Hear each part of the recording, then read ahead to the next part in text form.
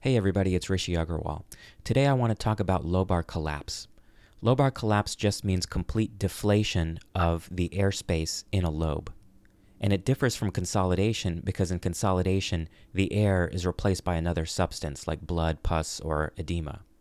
In collapse or atelectasis, it's not replaced by anything, it's just deflated.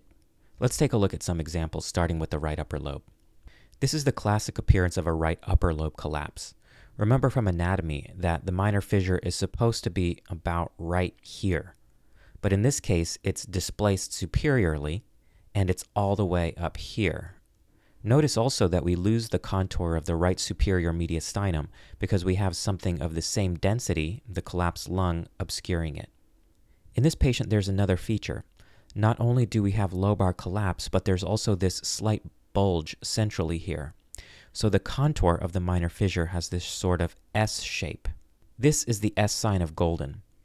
You see this sign when you have lobar collapse, and it's mostly in the right upper lobe, but the central bulge represents a mass causing obstruction of the bronchus. There's one more final sign on this chest radiograph, and that's this slight contour irregularity of the diaphragm. This is something called the juxtaphrenic peak sign. If you remember from anatomy that the visceral and parietal pleura come together at the hilum, the extension of that pleural junction is the inferior pulmonary ligament, and it tethers the hilum down to the diaphragm. When you have volume loss in the upper lobes, the hilum retracts superiorly, and it causes tenting of the inferior pulmonary ligament, causing the juxtaphrenic peak. On the lateral view, there's this triangular wedge of tissue, which represents the collapsed lobe. The posterior edge here is the major fissure, which is pulled up, and this horizontal edge is the minor fissure, which is also pulled up. If we look at the CT, you could see that the right upper lobe stops abruptly, and this is called the bronchial cutoff sign. And if we narrow the windows, you can make out a mass that is obstructing that bronchus, causing collapse of the lobe. If we look at the mediastinum, you can see that there are also enlarged lymph nodes, which represent metastatic disease. And here's the coronal image of the collapsed right upper lobe, with this being the minor fissure. Here's a case of right middle lobe collapse, which in my opinion is one of the harder lobar collapses to get on x-rays. Our clues here are that we have this hazy opacity in the expected location of the right middle lobe. And if we zoom in, we lose the right heart border because the collapsed middle lobe abuts the heart border.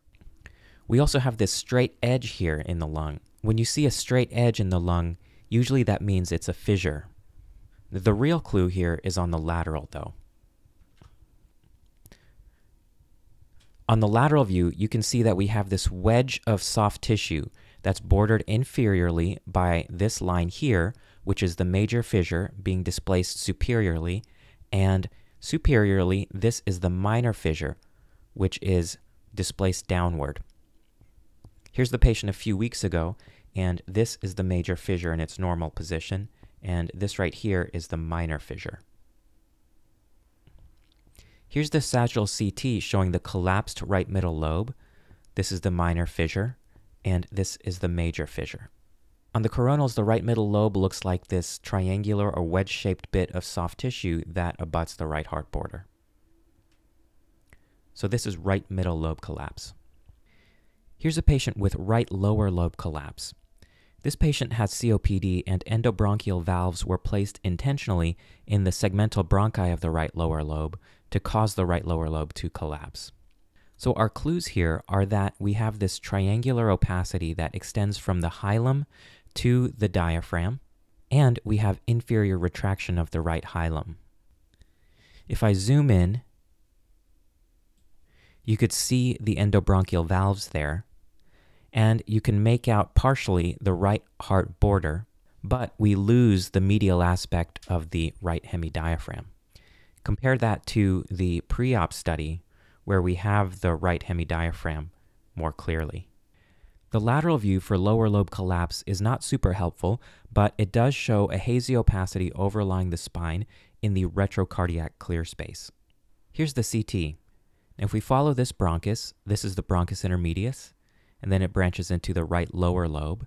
And you can see that these segmental bronchi contain the endobronchial valves, and this is the major fissure, which makes all of this the collapsed right lower lobe. Here's what it looks like on the coronal images. So this is the collapsed lower lobe here. And notice also that this is the minor fissure, which is displaced inferiorly as the middle lobe tries to take up the space that was once occupied by the lower lobe. This is another patient with right lower lobe collapse, and again we see this triangular opacity representing the collapsed lobe going from the hilum to the diaphragm. We have elevation of the right hemidiaphragm indicating volume loss. We have preservation of the right heart border, and although we have preservation of the right hemidiaphragm here, if we look on the lateral view, you could see that the posterior aspect of the diaphragm is obscured. Notice also on the lateral view that the collapsed lobe is not well demarcated. It just shows up as a hazy opacity overlying the spine. This patient has both right middle and lower lobe collapse. Notice again that we have this triangular opacity that goes from the hilum to the diaphragm. And if we zoom in, you'll see that we lose both the right heart border and the right hemidiaphragm. This border right here is not the diaphragm. This is the minor fissure. If we go to the lateral view, this right here is the collapsed middle lobe on top of the diaphragm. And notice posteriorly, again, we have just haziness behind the heart, but we don't have the posterior aspect of the right hemidiaphragm. This is the left hemidiaphragm. In this patient, because we have right middle and lower lobe collapse, you would guess that the obstruction would have to be in the bronchus intermedius. And if we go to the CT, what you'll see is that the trachea is patent. This is the right main bronchus, right upper lobe bronchus. That's the bronchus intermedius. And if we continue to scroll down, you could see that the bronchus intermedius is completely occluded. And if we continue to scroll, this is the collapsed right middle lobe, and this is the collapsed right lower lobe.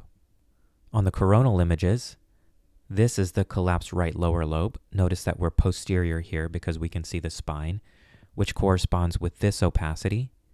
And if we scroll forward, this is the collapsed right middle lobe, which corresponds with this opacity. All right, let's take a look at the left lung. Here's a patient with left upper lobe collapse. On first glance, the most striking abnormality is that you see a diffuse haziness throughout the left hemithorax, and that actually represents the left upper lobe that's flattened against the anterior chest wall. Notice also that the left hilum is elevated, and that we have a very subtle juxtaphrenic peak sign here, as well as elevation of the left hemidiaphragm compared to the right. Another sign is that we lose the left heart border because remember the collapsed left upper lobe abuts the left heart. And then one final clue on the frontal view is that there's this sort of crescentic lucency adjacent to the aortic arch. This is something called the Luftsichel sign, and it represents a bit of the left lower lobe that's interposed between the collapsed lung and the aortic arch. The lateral view is much more straightforward. We see a well-defined opacity along the anterior aspect of the chest, which represents the collapsed left upper lobe, and this posterior border here is the major fissure. On CT, this is the collapsed left upper lobe, and as we scroll down, you could see that there's a little bit of the left lower lobe that comes between the aortic arch and the collapsed left upper lobe and this is what gives us the Luftsichel sign. Here's what it looks like on the sagittal images. This is a patient with left lower lobe collapse. This looks very similar to right lower lobe collapse. What we have is a triangular opacity superimposed over the heart, going from the hilum to the diaphragm, and we have obscuration of a portion of the left hemidiaphragm. On the lateral view, this is the left hemidiaphragm here, and you can see again that a portion of it is obscured posteriorly. Also notice on the lateral view that the collapsed lobe is not very well demarcated. all we really see is a hazy opacity behind the heart.